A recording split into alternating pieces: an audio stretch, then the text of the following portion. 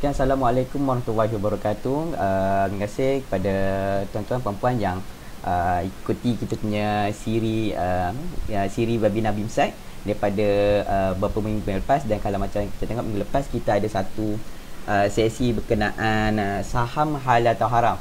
Jadi kita dah tengok uh, saham ni trading dengan invest apa beza dengan instrumen yang lain. Uh, boleh tak boleh harus dan hukum dia dari sudut uh, apa? sudut syariah lah dan minggu ni kita akan bawa uh, kita punya head of uh, retail dealing.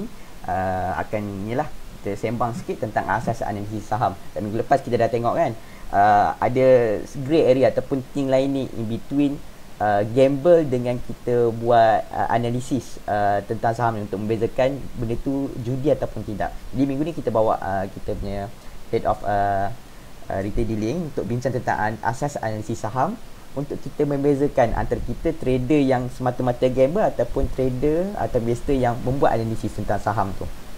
Jadi tanpa melengahkan masa saya jemput uh, Encik uh, Kamal Baharin untuk membentangkan tentang inilah kita boleh sembang santai hari inilah dalam tempoh lebih kurang sejam tentang asas analisis saham. So apa-apa uh, persoalan boleh uh, drop dekat ruangan komen insyaAllah nanti kita akan cuba jawab lah dan uh, saya tanpa melengahkan masa jemput Encik Kamal untuk uh, bincang sikit tentang kita punya asas, asas analisis saham pada hari ini. Okay, terima kasih Hafiz. Assalamualaikum warahmatullahi wabarakatuh. Uh, Bismillahirrahmanirrahim.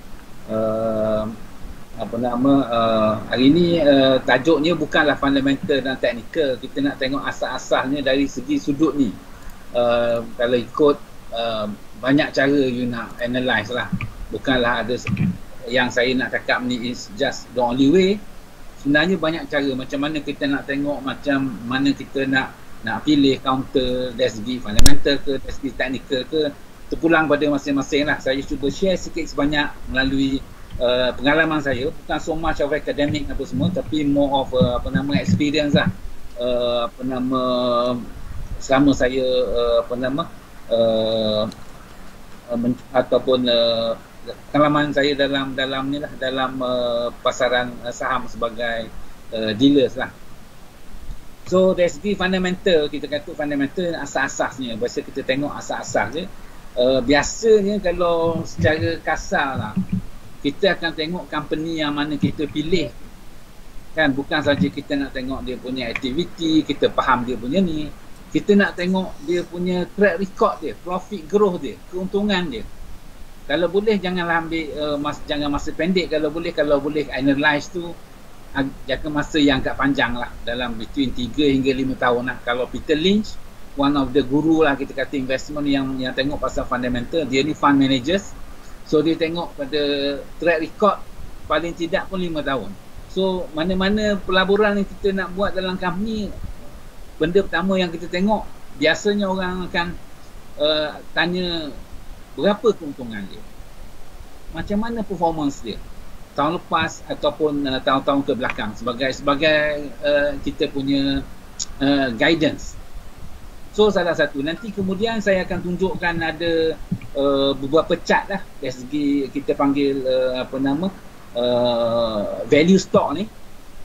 Macam mana reflektif uh, profit ni dengan apa performance of the uh, share price. Harga saham dengan keuntungan tu. Macam mana dia punya relate. Maknanya yang kalau tiap-tiap tahun tu dia akan bagi apa announcement uh, every quarter. Tiap-tiap suku lah mana tiga bulan sekali tu. Maknanya biasanya dalam bulan keempat by by law bursa punya rule company yang listed dekat BSKL kena announce dia punya uh, profit. Berapa date depend pada dia punya ni lah. No, biasanya uh, dalam dua minggu after the finance uh, apa uh, accounting uh, quarterly end so masa tu you tengok the reaction. Kalau biasanya kalau company uh, declare profit lebih pada biasa maka maka kebiasaannya price akan naik. On that day akan melonjak sikit lah. Ha, tu yang buat kita tengok everyday price action tu uh, along the way pun ada juga uh, aktiviti-aktiviti corporate action yang lain. Tapi profit biasa yang yang paling paling ni lah yang ada paling signifikan lah kita kata. Uh, uh, dari segi uh, day to day punya aktiviti tapi uh, of course lah corporate action yang lain macam take over ke mergers ke uh, ataupun yang negatif side pun ada yang boleh effect uh, uh, price bukan kata semua naik je semua. Ada yang on the negative side kata company patut di, uh, expect to declare profit kata naik dalam about 5% ataupun 10% tiba-tiba dia loss banyak due to whatever reason. Jadi price pun akan biasa akan akan, akan jatuh atau menurun atau decline. So dari segi profit ni jangan kata mana profit saja. Keuntungan ataupun kerugian lah biasa orang tengok. Yang kedua faktor biasa orang tengok dividend yield. Dividend yield ni maknanya orang akan buat perbandingan. Kita ada uh, uh, apa nama uh, RM10,000. Kalau kita letak duit kita dekat ASB lah sebagai benchmark kata 5%. Kan? Kalau RM10,000 maknanya kita kita punya dalam uh, RM500 lah. Kita punya uh, keuntungan setahun. Yield dia. Ha, kalau 10% 1000 kalau 5% RM500 jadi kalau kita guna 10000 tu beli saham dengan value yang sama kita pun banding berapa yield dia. Yield maknanya dividen yang dia bagi tu berbanding dengan harganya. So kalau yield tu lebih tinggi ataupun sama atau slightly kurang pun tak apa sebab kita nak simpan untuk jangka masa yang agak panjang. Maknanya selama kita kita pegang saham tu apabila company declare dividend kita akan dapat pulangan so dividend ni macam macam saya buat kalau kalau apa nama sebagai asasnya lah kalau kita ada rumah.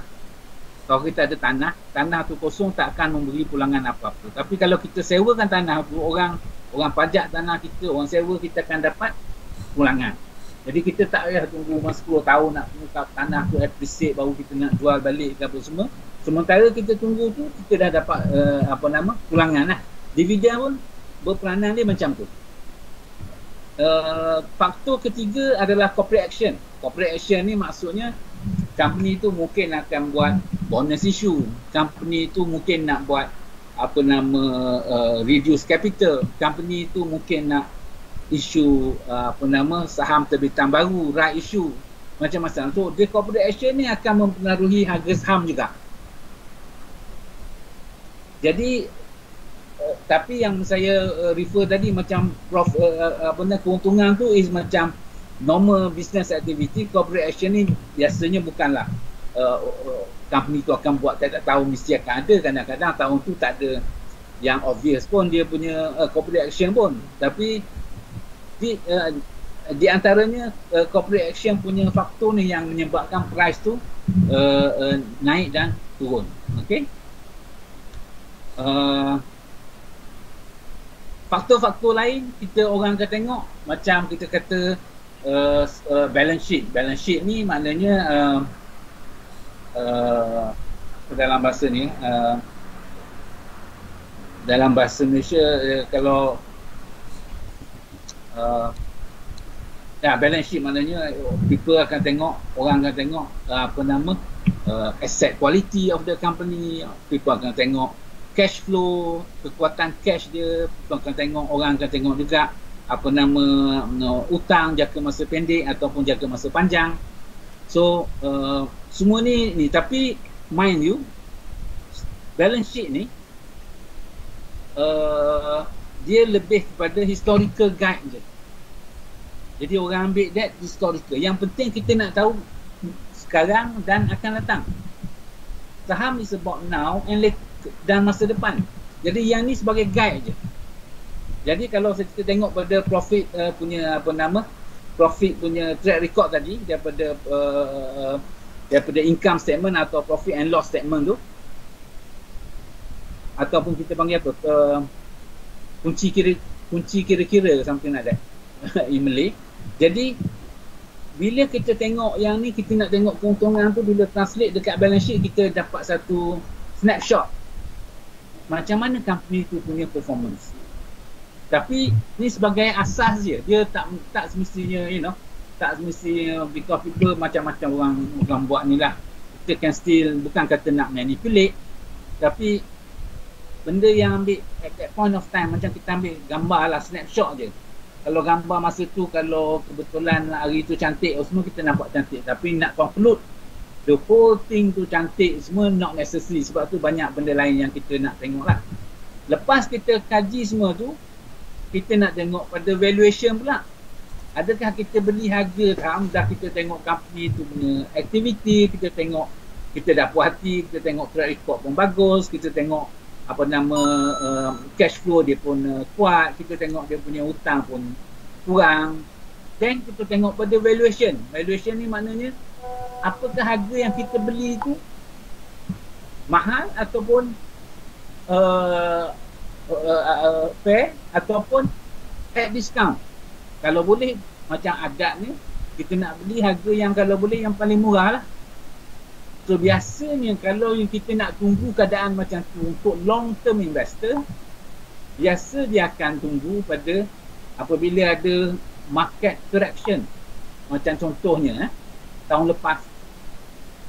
Apabila ada big correction pandemic punya announcement dalam bulan Mac. Awal-awal bulan Mac kita tengok price market dah mula goyang. Apabila apabila apa nama bulan Disember uh, 20, uh, 2019 dan continue to January kita tengok pandemic dah start mula merebak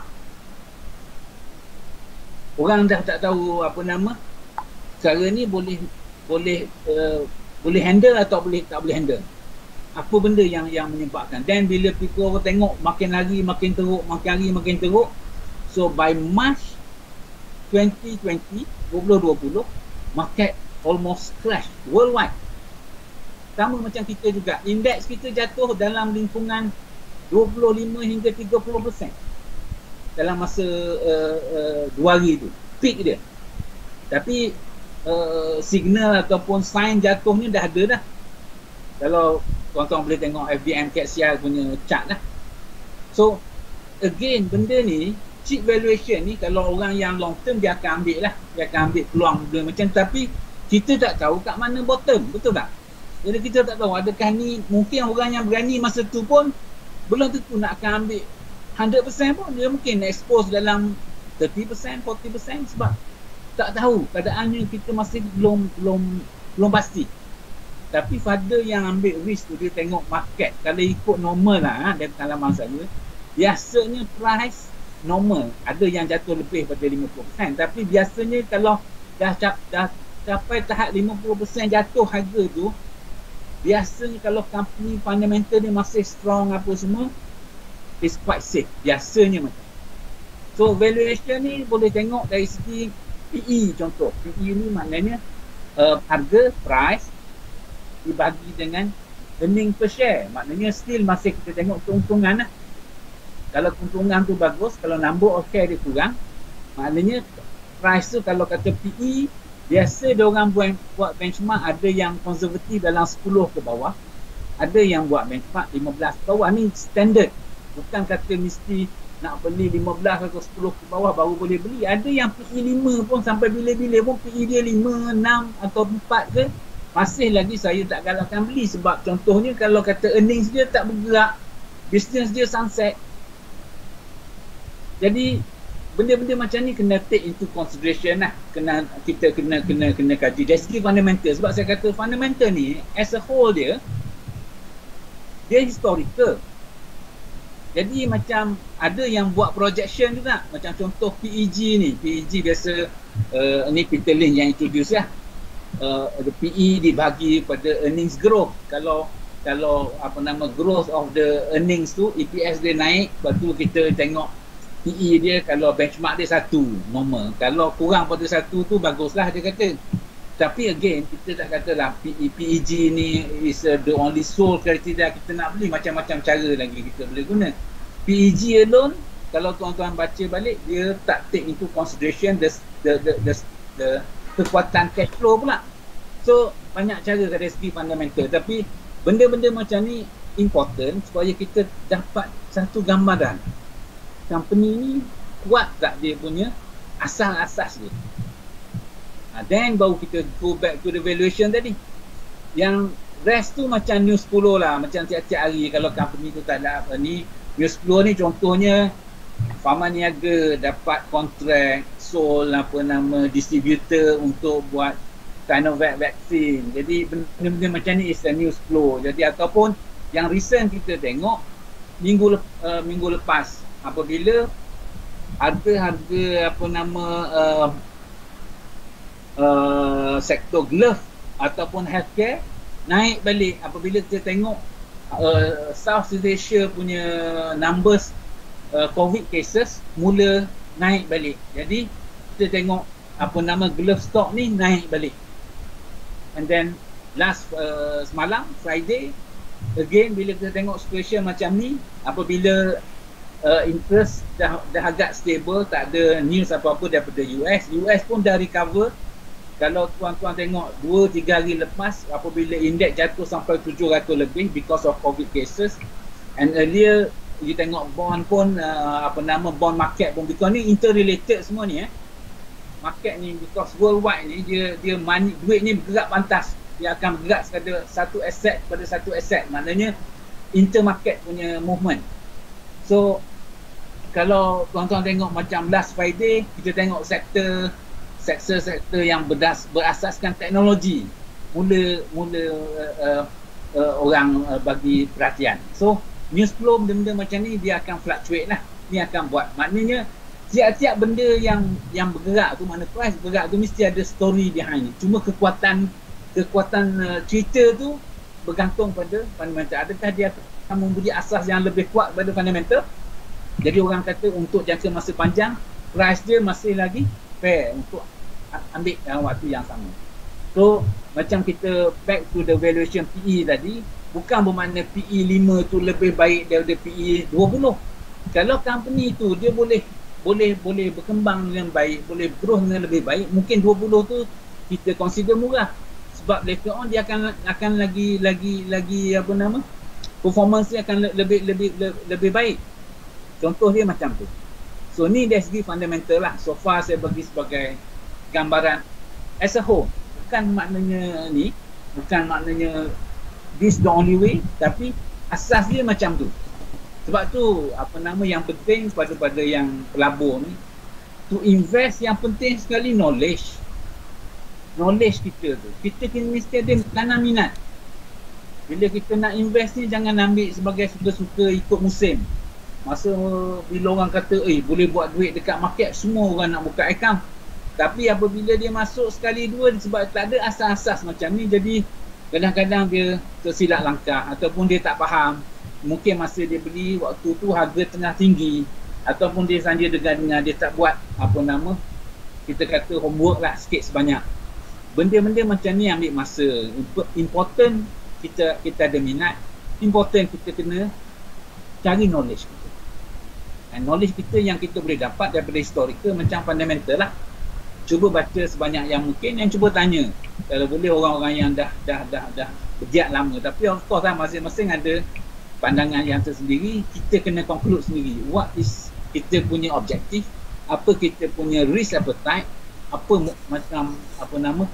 Apa yang kita nak sebenarnya daripada pelaburan? Uh, yang ketiga yang yang uh, seterusnya saya tengok dari segi teknikal. Ada orang fikir saya pun dulu masa awal-awal dulu teknikal saya ingat. Orang kata teknikal ni dia just beli je. Dia tengok asal bergerak je dia tak tengok fundamental. Not necessary. Biasanya teknikal ni dia bagi satu gambaran satu macam kalau kita kata uh, uh, satu pergerakan lah. Dia akan create sebenarnya dalam tu banyak information. Kenapa price tu naik tinggi? Behind the story dia ada cerita so price tak akan bergerak kalau tak ada cerita. So technical ni memberi satu gambaran. Chart kita kata atau carta yang ada cerita di belakang. Dan daripada situ people akan equate orang yang ambil technical dia kata tak kira dia ambil method apa dia nak belajar. Kalau dia ambil Japanese candlestick dia berdasar kepada uh, pattern-pattern candlestick.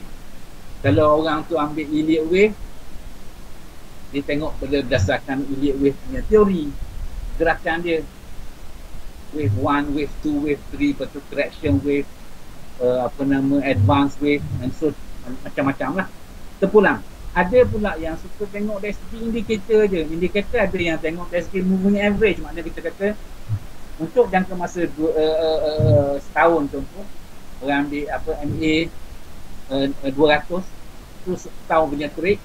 So dalam pergerakan MA200 kalau current price lebih tinggi maknanya dia positif. Mana trend dia bullish. So boleh masih boleh beli. Contohlah saya bagi gambaran macam tu sebenarnya uh, even technical pun macam fundamental kita kita kena belajar tapi asas dia maknanya dia memberi kita satu gambaran dan pattern ni akan berulang. Kalau pattern ni akan berulang, chances that kita will be on the on that track ke tidak?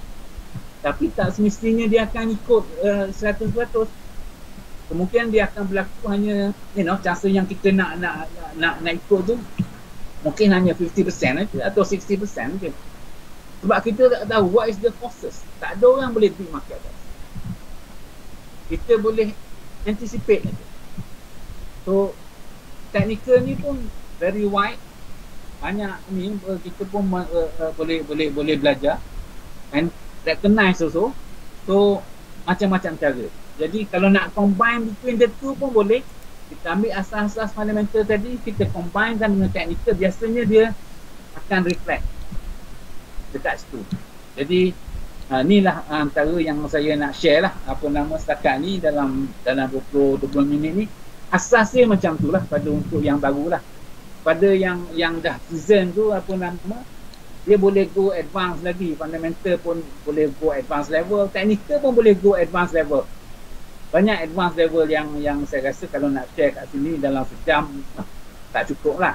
Tapi ada advance level tapi again faham asas bila faham asas dan kita ikut kita punya uh, punya objektif dan kita akan be able lah to to to to to, to start lah dekat uh, uh, investment ni. Sama ada bukan kata fundamental is always right technical is always wrong. Tak mesti. Kalau saya melalui pengalaman saya lah. Combination of both beri kita uh, apa nama guide, uh, uh, guidance untuk kita uh, melabur. Untuk jangka masa panjang Alhamdulillah insyaAllah. Contoh saya bagi ya. Kalau kita go on uh, apa nama fundamental uh, apa nama tak kira fundamental ke technical ke kita ambil contoh bursa. Bursa Malaysia saya rasa ke, kalau tak saya listed 2000 2000 uh, depan 16 tahun 17 tahun uh, dah, dah listing. Bursa Malaysia. Bursa dia dah bagi dividen kalau tak salah saya dalam lingkungan 3.5 to 4,000 masa bursa listed dulu dalam about uh, 250 later on naik sampai 350 tengok bursa sekarang RM7 lebih RM7.6 tapi along the years tu kalau kita simpan bursa tu dia dah bagi bonus issue dah bonus issue ni maknanya share yang dia ada daripada duit keuntungan dia tu dia akan bagi dalam bentuk share lah. So kita dia bagi one for two kalau tak salah saya. So kalau kita simpan bursa punya share now pun katalah kita tak beli masa masa dia listing lah. Kita beli kemudian setahun atau dua tahun kemudian. Modal tuan-tuan masa beli pun kata setahun tu harga dia kata dah RM3.5 sekarang pun harga kata RM7.6 modal tuan dah balik dah. Uh, dividend yield yang kita kata tadi salah satu fundamental track record dia dia bagi rate yield dia bukan 3.5 to 4% lah masa tu. Sekarang ni slightly lower sikit uh, slightly you know, 3% or below sikit. Tapi along the years tu tuan akan tuan-tuan dah dapat berapa persen lah dia punya return. So ni contoh saya boleh boleh bagi gambaran lah kalau kata ni. Sebab saham ni biasanya dia untuk jangka masa yang panjang. Dia bukan untuk hari ni beli besok boleh jual seterusnya. Ialah ada lah orang kata chances tu uh, ada. Tapi dia takkan berlaku uh, apa nama setiap waktu setiap kali kita masuk setiap kali kita akan untung because dia zero sum game zero sum game ini maknanya kita untung sebab kita beli saham tu dengan harga yang sekian. Yang kita jual harga yang lebih tinggi pada harga kita, kita beli tu kita untung tapi orang yang yang jual tu kemungkinan dia dah beli harga yang lebih tinggi. Dia terpaksa jual due to margin call ke dia terpaksa jual sebab dia nak pakai duit ke dia terpaksa jual due to whatever reason. Jadi dia rugi. Dia rugi kita untung. Dia zero sum gain bukan maknanya kita beli itu kita untung dia untung orang ni untung. Tak semesti. Sebab saham ni dia berdasarkan sebab tu dia panggil bid and offer. Dia macam auction macam lelongan orang yang orang yang biasanya successful dalam saham ni atau boleh buat duit dia orang yang dia punya holding power dia strong orang yang sabar orang yang dia beli waktu yang orang lain semua tak nak orang yang biasanya dia akan akan dapat pulangan atau lebih berjaya lah. Biasanya macam tu. So setakat ni saya rasa apa nama kalau ada ada apa soalan uh, saya more than happy to answer. Later on saya nak show a few slide yang saya kata tadi berdasarkan pada fundamental tadi apa semua. Mungkin kita boleh tengok uh, some charts juga sikit sebanyak. Saya boleh share lah. Ada apa soalan uh, setakat ni?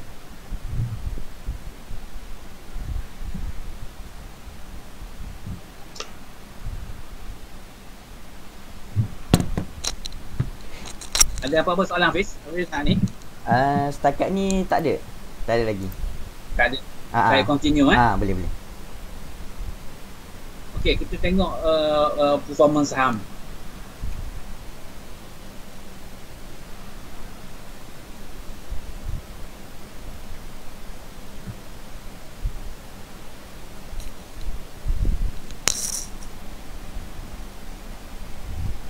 How to connect lah.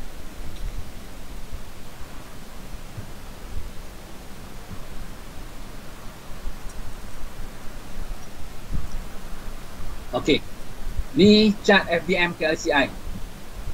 Kita tengok secara kasarnya memang uh, apa nama dalam bulan 2000 ni 2018, 2019, 2019, 2020. So trend dia kita kata secara kasarnya agak menurun lah untuk FBM KCI eh, yang ter, uh, apa nama 30 stock yang kita kita jadikan dia sebagai inilah sebagai asas trend overall represent masih lagi a slight bearish saya kata. Okay?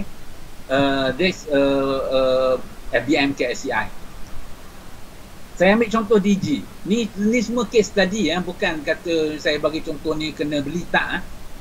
contoh DG kita kata orang akan tengok company punya performance. Biasanya dia akan tengok pada keuntungan kalau tuan-tuan tengok keuntungan company ni eh, DG apabila margin dia makin lama makin menurun eh, dia punya trend harga dia pun trend dia pun akan biasa ikut. Nampak tak kita dia punya dia punya impact ni over long term ni? Yang lain tu jangan ni lah ada long lebih banyak lah price action dia berdasarkan kepada kalau nak tengok MACD ke nak tengok RSI ke orang yang tengok teknikal dia nak trade macam contoh Yelah yang benda yang lepas senang kita kata kita beli kat sini jual kat sini untung lah ini mana tapi sebagai orang pelabur panjang mana kita tengok?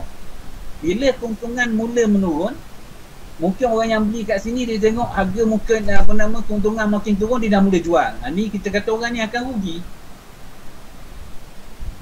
Orang yang kat sini pula dia rasa oh this is the bottom dah.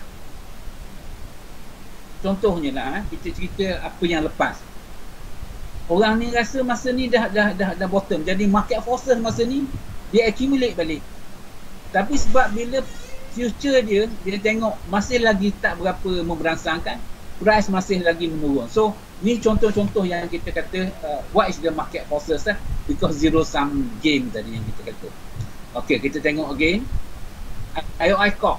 Tadi uh, uh, telecommunication ni more or less IR Corp ni dia uh, mix more conglomerate tapi people masa dia punya income mainly coming from plantation lah peladangan eh pun dalam menggambarkan benda yang sama. Walaupun kita tengok off late ni bukan off late aja for the last one year price CPO agak tinggi. Keuntungan agak agak agak lebih bagus kalau tengok tahun apa nama tahun uh, uh, uh, ni quarter 2000, 2000 uh, 2021 ataupun fourth quarter 2020 kita tengok harga tapi masih lagi menurun. Maknanya forces masih lagi market masih lagi merasakan ekonomi agaknya.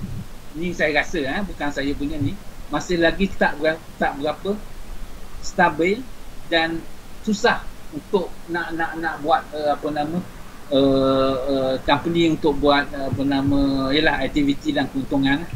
Kita we go next tengok. Ni LC Lotte Titan.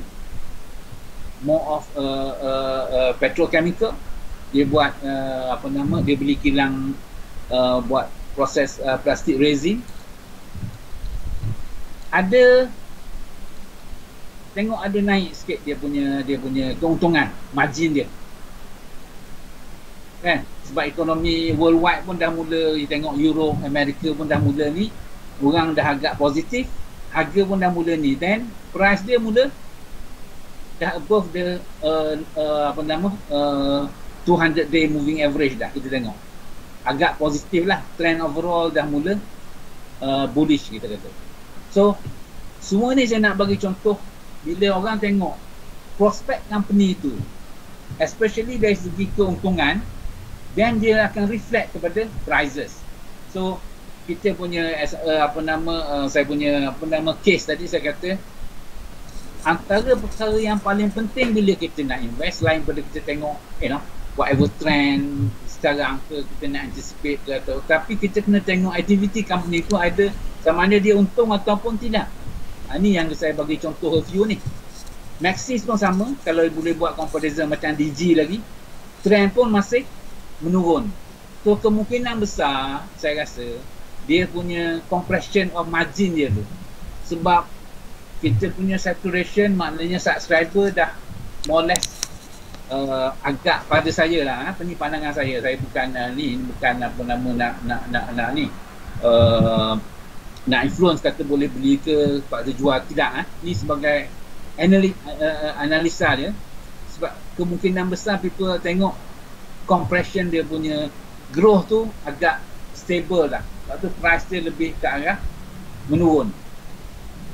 Sama macam DG juga. Kita tengok bank eh. Ni walaupun ialah nak pada kata dan syariah kita nak tengok as a whole. Kita nak kita nak belajar. Saya pun nak belajar.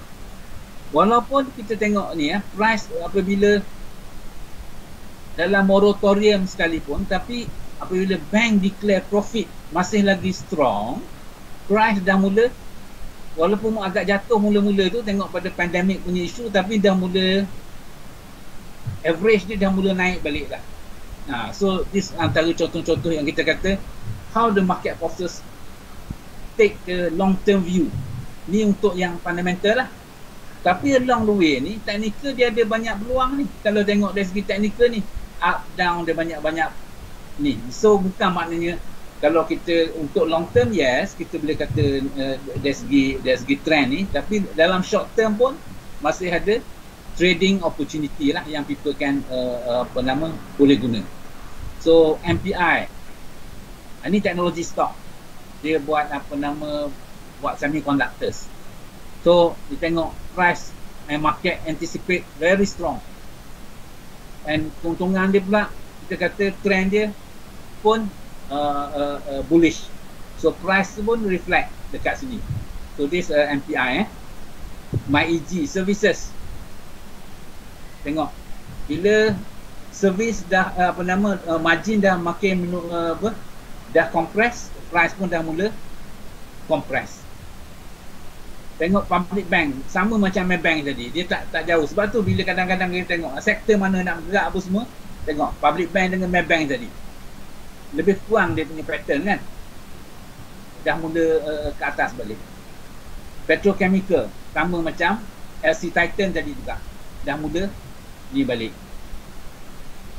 Petron contoh ni untuk trading services. Agak flat lah tak ada neutral saja. Tak ada tak ada tak ada mana sangat. Price pun agak agak saya rasa uh, among the bukan kata very bottom tapi agak stabil lah. Sebab kita pun tengok tak ada tak ada banyak economic activities. Dia kan dia dia trader dia trading ah trading macam uh, apa nama petrol punya station apa semua tu. So harga minyak pun more or less uh, although naik tapi stable je. Tak tak tak tak apa nama tak ada demand faktor yang yang buat dia akan push higher. Lepas tu kita tengok sun plantation. sama macam ROI tadi walaupun margin dia menaik tapi price masih lagi menurun. Margin dia makin naik price because price CPO naik tapi the demand tu. Mak- maknanya perception untuk ni untuk long term forces dia masih lagi ke bawah. Uh, this is something that interesting to look at. Adakah ni akan bottoming akan rebound? Just another question.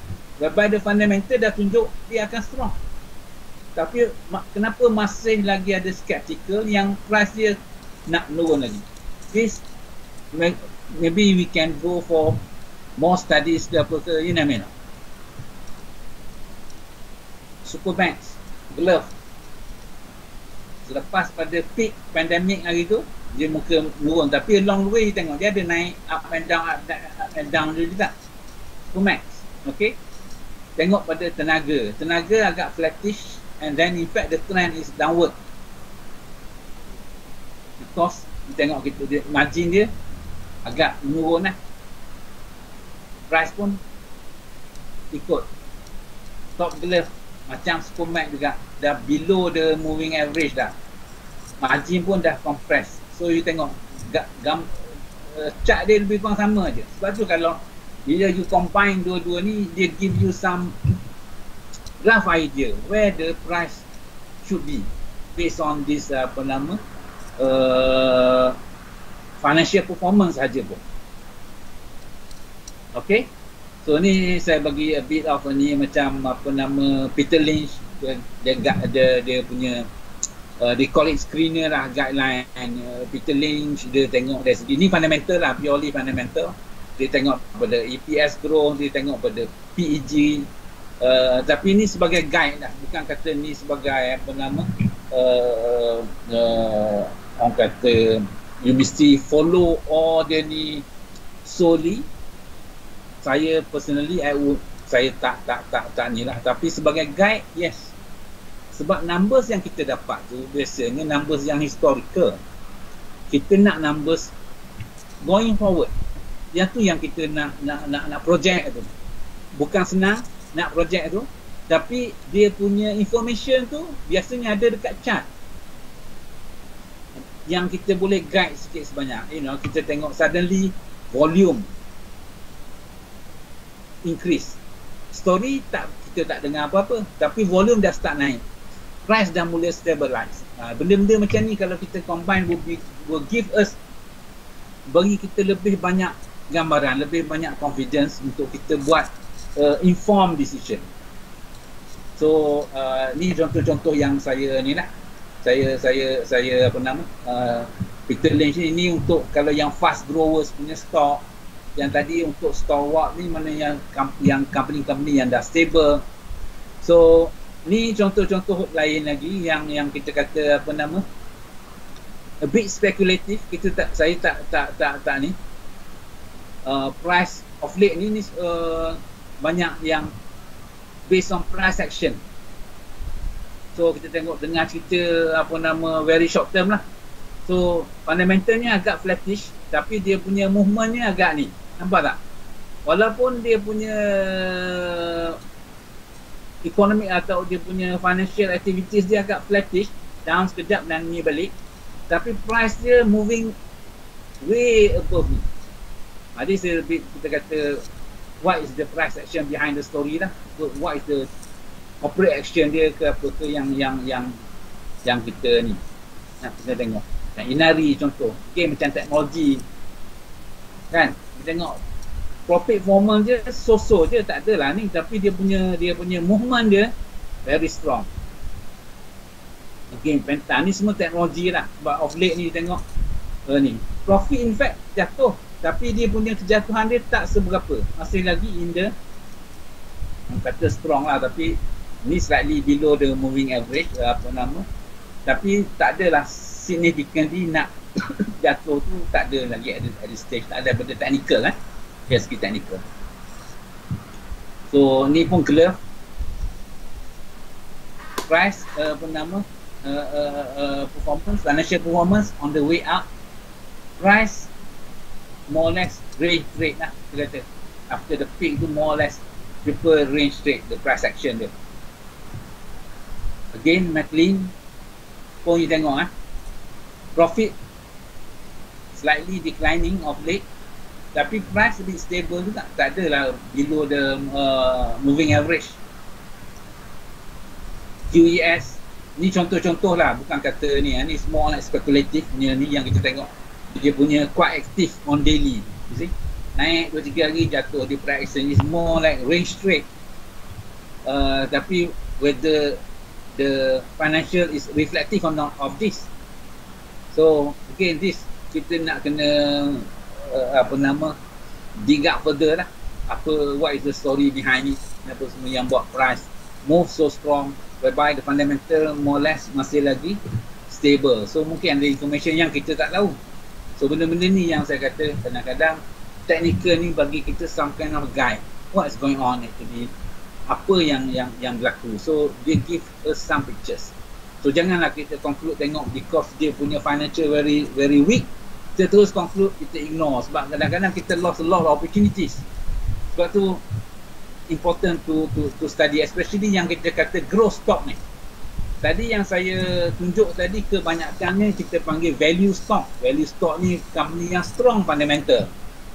Whereby yang company-company yang bit speculative uh, most of it lah tadi uh, except macam Inari tu adalah uh, strong fundamental. Yang lain ni company ni relatively agak baru lah uh, listed dekat uh, uh, di SKL as compared to yang tadi. Yang yang yang uh, earlier slide tadi.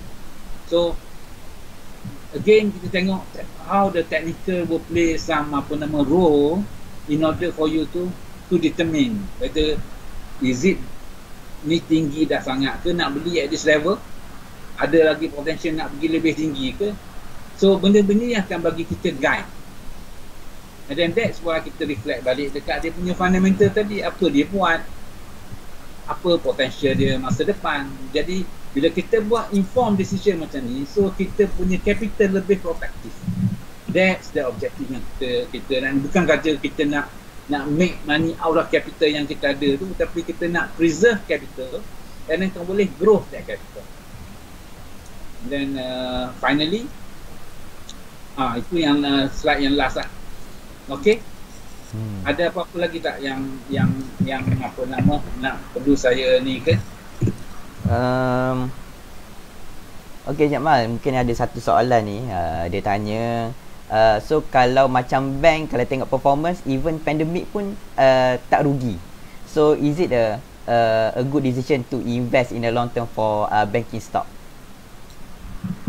Uh, pada saya eh, mm-hmm. ni ni pandangan saya nah uh, banking stock ni bila ia ada moratorium pun bukan maknanya you tak payah bayar tau. Sekarang you kena bayar juga kemudian. So you dah lock in dah pada the bank as a business. Dia dah lock in dah dia punya ke, keuntungan tu.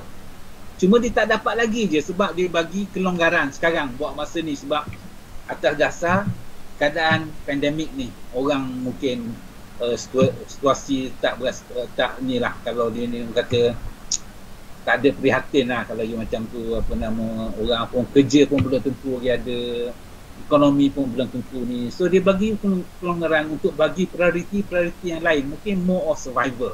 Tapi as a business for the, untuk bank tu dia dah dah lock in lah. And satu interest rate sekarang kita kata more or less tak berubah lepas dia uh, apa nama OPR kita turun tu masih lagi di tahap yang rendah. So kalau interest rate start naik, the bank punya margin makin lama akan makin naik. So saya rasa secara tak langsung saya dah bagi jawapan kot.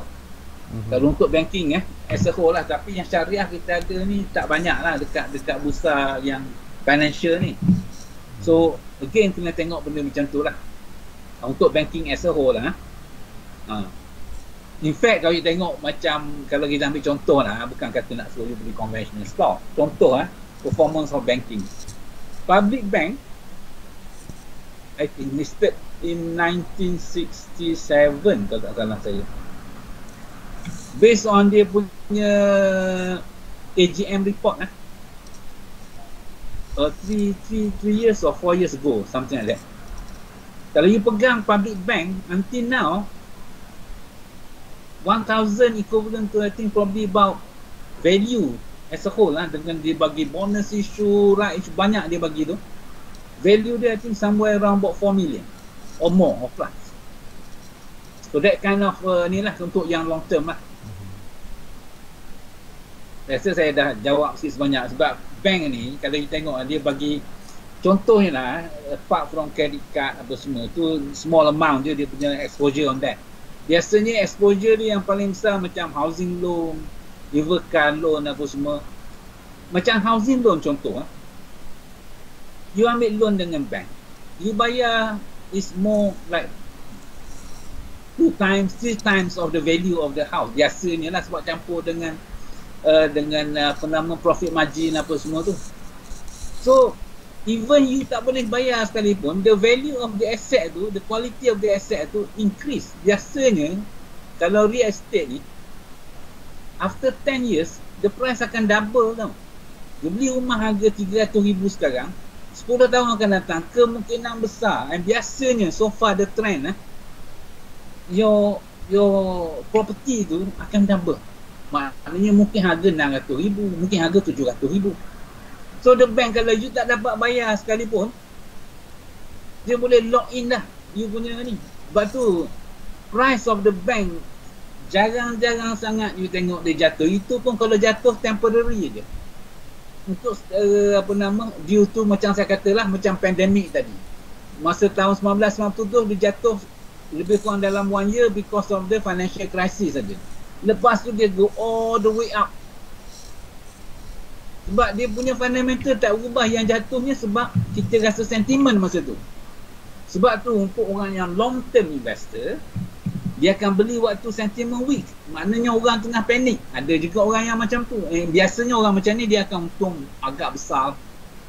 Sebab tu pada saya secara peribadi lah kata uh, saya lebih suka at least 70% of kita punya asset kita go on uh, on, on investment like that. And 30 kita go on growth stock macam saya mention a few tadi lah yang kita take advantage of the price action tadi Ha, ni based on the technical macam tu. Dia apa nama? Macam glove contohnya kan. Kalau kita tengok apabila pandemik dia dah mula naik tapi bila dah sampai topis dia kita tengok vaksin dah jumpa dia jatuh balik tapi bila off late report kata case naik balik dia, dia pun naik balik so this more or less like price action where you, we can capitalize here and there lah maknanya tak adalah kita nak tunggu idle je kan contohnya there's a saya saya suggestion. Tapi do not expose entirely or 100% on trading like that. Lah kadang-kadang sebab saya kata zero sum game tadi. Hmm. saya rasa apa nama that will answer your ni uh, ni Hafiz? Hmm, boleh. Ok Encik Mas satu lagi je. Daripada Cik Rosni dia kata sektor mana buat masa ni yang patut kita overweight uh, pada masa sekarang lah? Dengan, dengan hmm. keadaan sekarang ni yang mana patut kita overweight uh, interestingly saya masih apa nama uh, on selected technology stock. Kita tengok the play masih masih the masih is still there. Cuma accumulate masa the the winners lah dekat teknologi yang pilih teknologi yang yang because going forward teknologi ni suka tak suka pun memang dia akan play a big role Cuma kita nak kena tengok teknologi apa yang tu. Kadang-kadang teknologi ni become obsolete. Namanya teknologi tapi rupanya chip dia dah obsolete dah. Tak, tak orang tak, tak nak pakai, tak nak ni. So yang tu kena study. Yang tu yang kata kena kena ada do some homework sikit tu. You tengok some of the technology stock ha, kalau saya nak mention a few. Go to ni. Banyak stock-stock dah stable lah. You tengok. Very high. Sekarang mana tinggi lah. MPI apa semua tu. Tinggi tau price dia. Bukan bukan ni. So pada saya lah personal secara personal uh, uh, technology stock is masih lagi my my ni lah I think in my radar lah at this stage. Mm-hmm. Uh, interestingly plantation pun macam saya kata tadi there could be a story behind yang kita tak nampak sangat. Price agak stable tapi uh, price CPO agak stable. In fact company declare banyak profit tapi kenapa price masih lagi declining? Mungkin kita kata uh, because of banyak biasa foreign fund ni sama macam tenaga juga sekarang dia go on ESG lah. Dia go for environment they go for social responsibility they go for governance untuk sebagai kriteria nak beli. Kalau company-company tu tak qualified for that that that that, that criteria yang diletak so orang you know they tend to ignore lah. Despite lah you buat duit banyak mana sekalipun pada dia you kena comply lah benda-benda yang manusia go apa ni uh, people go more for uh, governance go for uh, uh, uh, uh, ni apa nama environment punya sensitivity and so benda-benda macam tu. Tapi perhaps bila company this kind of uh, company dah comply accordingly apa semua maybe the interest start to come back. Contohnya uh, that I think worth to look at lah the kind of uh, ni. Sebab kita tengok price of CPU agak agak stable tapi price of the actual uh, stock tu masih lagi tak tak tak ni. That could be one of you can apa nama uh, watch uh, very closely uh, dia, dia punya development tu. Hmm. uh, yang yang lainnya cyclical stock. Cyclical stock ni macam kita kata glove tadi kan? Ataupun uh, pharmaceutical stock ke Malaysia tak ada yang direct macam macam Pfizer macam uh, AstraZeneca ataupun uh, uh, ialah yang Moderna yang kita kata Moderna is more like a lab punya. Ni sebenarnya uh, before they moving or discovered the vaccine.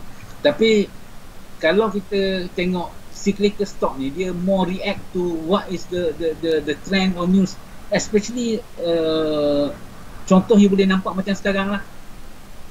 Kalau ada kalau kata ada company boleh jumpa ubat rather than vaccine of to the uh, C19 ni then ni tengok macam mana naik. Ni tengok the performance of Pfizer, Moderna semua.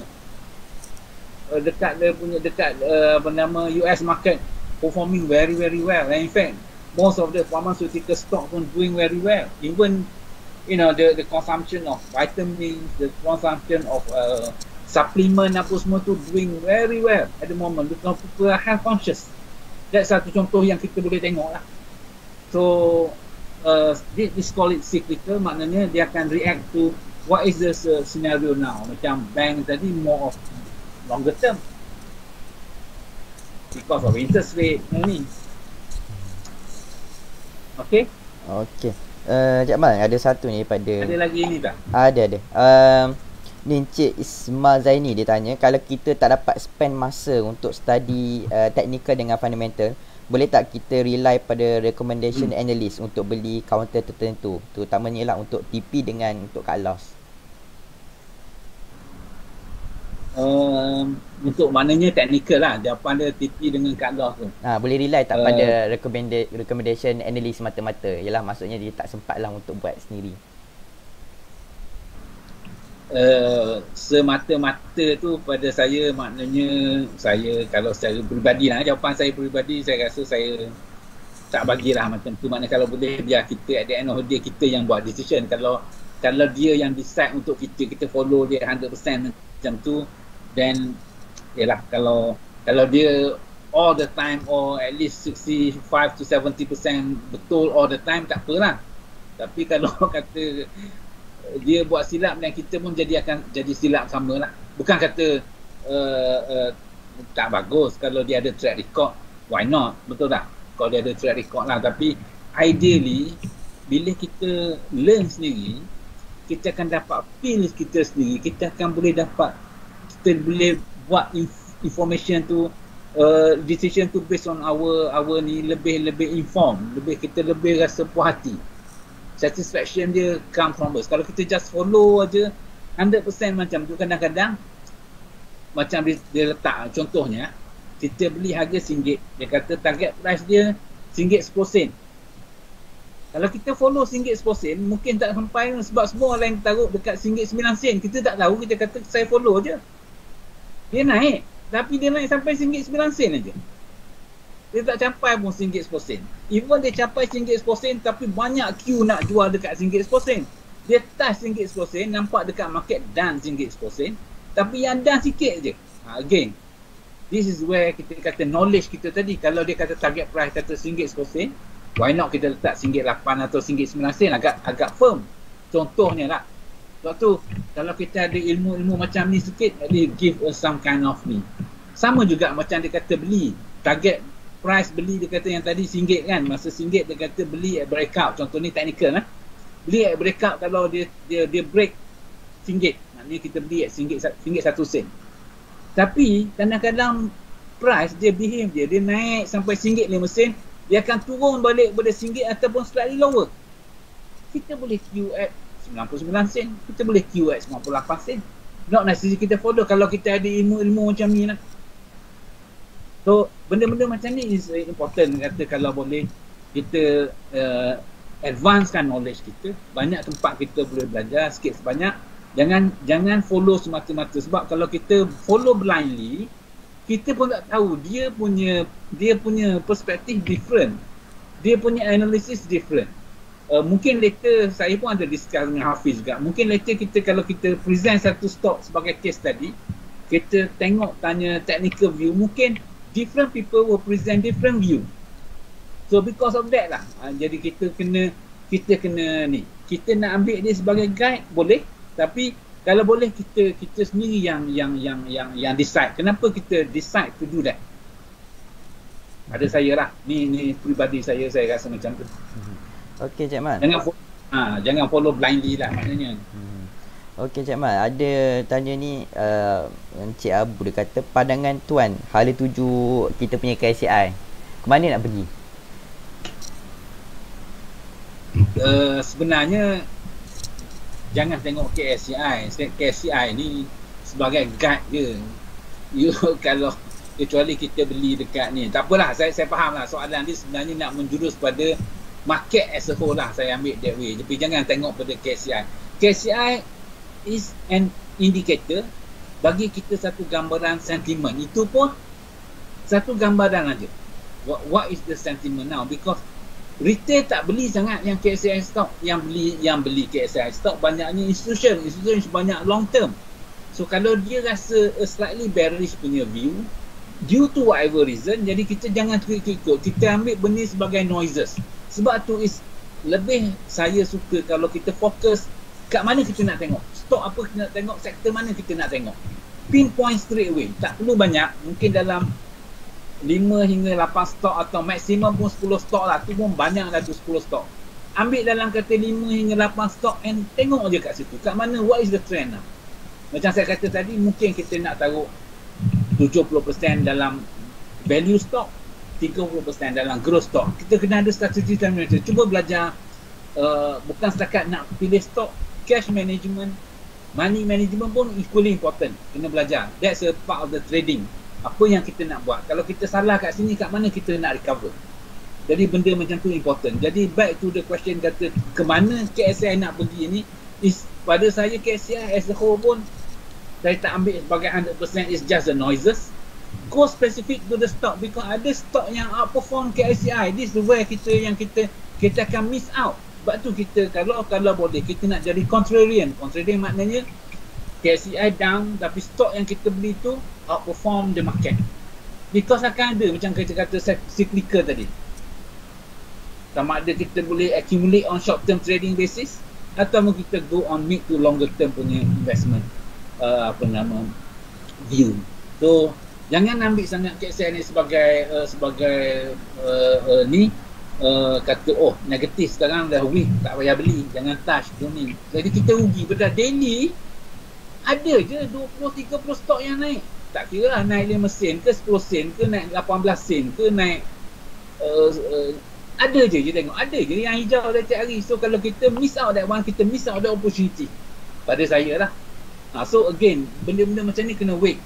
Kat mana risk uh, reward or, or appetite kita? Kat mana So kita kita kena balance out uh, uh, all this thing lah. Jangan kata ambil satu apa nama KSI kata tengok eh macam nak uh, bearish tapi Dow Jones eh yang ambil Dow Jones.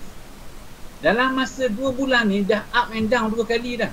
Dah touch above 35,000 going back all the way down to below 34,000 touching 33 now going back yesterday closing above 35,000 balik.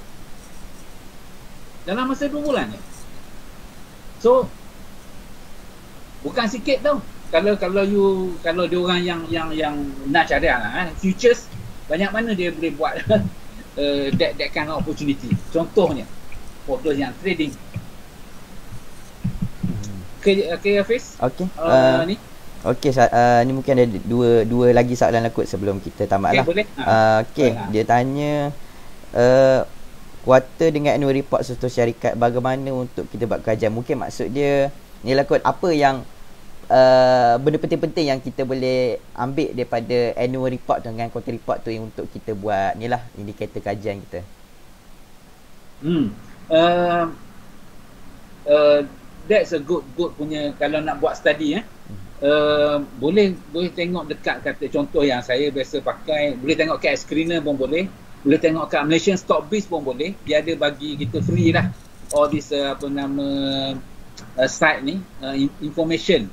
Biasanya kita tengok company tu contoh company tu punya uh, accounting year end kata 31 bulan 12 lah. so biasanya kalau 31 bulan 12 every quarter maknanya bulan March bulan Jun, bulan September dan December lah. Last sekali dia akan keluar report. Tapi dia tak keluar report at the end of March tu. Dia akan keluar biasa 2 weeks after uh, March. Biasa dalam bulan April. 2 minggu 3 minggu round that level. So ambil report tu yang quarterly tu sebelum tu ambilkan macam saya tunjuk tadi contoh ni. Sebelum dia keluar ni tengok market market akan lag. Yang ni akan dulu. Tapi kadang-kadang information dah ada kat sini sebenarnya. Saya tak kata-kata inside information lah. Kemungkinan orang yang dah tahu pun dah ada kat sini sebab dia result dah habis dah. Cuma orang tengah buat buat final preparation nak release to the public ni. Jadi banyak information orang yang dah tahu kat sini along the way. Contohnya, jadi saya nak kata uh, company ni tak ada. So that's why important tengok pada information ni then kita boleh relate balik and daripada situ kita boleh tengok industri. Tengok industri ni macam mana? Kalau technical contoh kalau orang lain naik semua kalau company ni jatuh kenapa dia jatuh? Ni mula-mula lah kita nak belajar. So important ni yang kata-kata invest in knowledge tu. Kita tak perlu banyak. Kita pun tak mampu nak nak nak nak nak nak nak, nak, nak dig banyak apa semua ni. Tapi dengan knowledge sikit banyak yang kita ada kita akan dapat dapat sikit grip nama-nama kita akan mahir kalau boleh baca juga annual report company tu buat apa kat mana ada information dalam tu. Kita tak perlu baca ni pun uh, awal-awal lah kita kena study sikit. Lepas tu kita dah faham. And then kita boleh just follow je stock-stock yang kita do and jangan ada emotional or sentimental.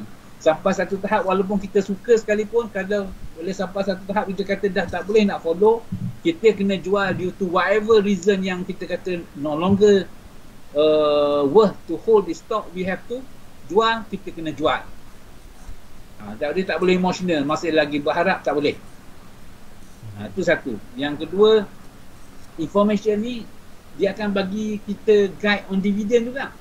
Bukan quarter report tu semua. Kalau company keep on making money kita boleh agak dia akan declare a good dividend kalau uh, dividend track record dia. Bukan setakat uh, result aja so guna benda tu sebagai sebagai kita punya tool. Lepas tu compare dengan chart-chart ni. Kadang-kadang information dah ada dah dalam ni. Sebelum dia keluar tu information dah ada. Kita tengok volume dia naik tiba-tiba and most likely akan ada good information akan keluar lah. Biasanya kalau suddenly volume dah start to increase price pun dah mula increase ataupun price stable very strongly pun kena kena tengok benda-benda. Ada juga yang kadang crash. Ya, dia saya pernah juga jumpa satu dua company ni result tak bagus tapi dia push up dulu. Kononnya result akan bagus. Ada juga tapi jaranglah benda tu berlaku tapi berhati-hati jugalah benda macam tu. I don't know for what reason. Orang nak buat benda macam tu nak trap orang ke nak jual orang nak takut nak nak bagi nak trap. Allahualam saya tak tahu. Ada juga saya pernah tengoklah kes-kes macam tu sekali dua saya ada terjumpa tapi kebanyakannya kalau good result biasanya volume dah start mula build up lah Okey soalan kedua ini yang uh, yang yang ni Ah ni last ni Dia kata uh, best indicator untuk uh, technical analysis untuk intraday dengan swing. Apa mendapat kecik Amal? Intraday. Dia dia dia indicator ni uh, bukan soal nama indikator tu RSI ke uh, uh, uh, apa nama stokastik ke dia kena tengok kalau kita nak tengok intraday yang saya belajar yang saya belajar kemungkinan nanti uh, whoever yang post the question boleh belajar lebih, lebih jauh kalau ada information boleh share sama-sama lah. Saya pun tak berapa mahir juga. Setakat yang saya belajar kalau nak tengok swing kita kena tengok time frame tu. Mungkin kita ambil lah contoh ambil. Nak pakai stochastic pun boleh. Nak pakai EMA pun boleh exponential moving average biasanya sebab kita tengok kita nak tengok compress eh. so kita pakai uh, EMA pun boleh sebagai comparison. Jadi kita bila kita tengok ambil lah nak pakai RSI ke nak pakai stochastic ke satu yang pertama key yang saya boleh share eh, time frame. Tu kalau kita nak tengok very short mungkin kita tak boleh pakai daily chart. Kita kena pakai hourly chart ataupun dia panggil minutes chart. Mungkin kita kena pakai M15 minit 15 minit Ataupun kadang kita nak short lagi.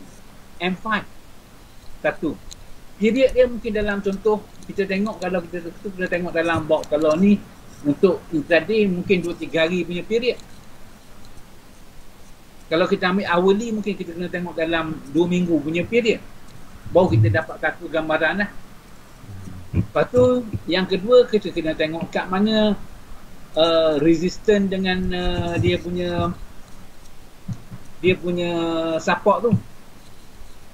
Biasanya kena tengok juga benda tu sebab semua ni confirmation. Lepas tu kalau kena belajar sikit lagi kena juga tengok some candlestick punya pattern ada tak? Yang appear kat situ contohnya ada reversal ke tidak?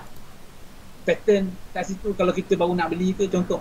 And the key dia yang yang yang yang rasa agak penting eh ada tak divergence berlaku?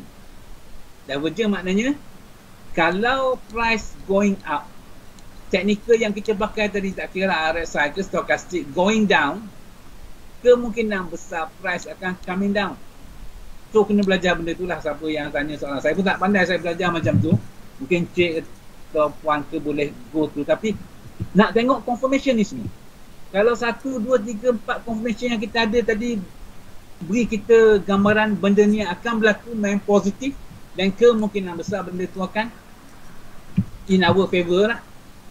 Lepas tu bolehlah apply buat projection sikit sebanyak pakai apa nama Elliott wave uh, Fibonacci punya projection ke ataupun uh, dia punya retracement tu yang tu kena belajar juga. Tu saya pun belajar juga. So benda-benda macam ni important. Dia bukan jangan tengok satu confirmation je. Just because MR 5 cross MR15 MR15 cross MR23 MR23 cross MR50 pun kita buat confirmation tu pada time dah late mungkin bila MR5 cross MR, MR13 tu contoh kita dah tengok satu divergence berlaku. Kita dah jumpa masa tu ada candlestick punya pattern dah bagi confirmation.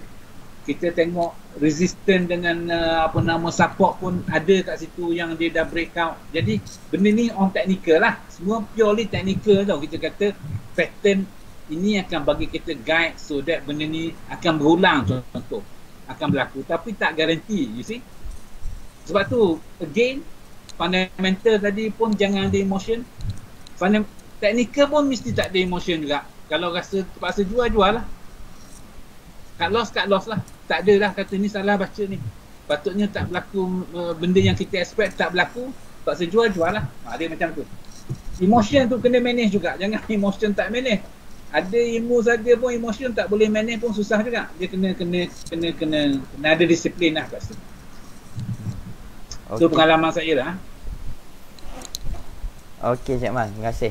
Saya rasa uh, soalan sampai tu lah kot. Apa-apa sekiranya tuan-tuan puan ada uh, soalan lagi boleh lagi drop dekat komen. InsyaAllah kita akan cuba jawab uh, nanti dan kita akan reply komen tu lah.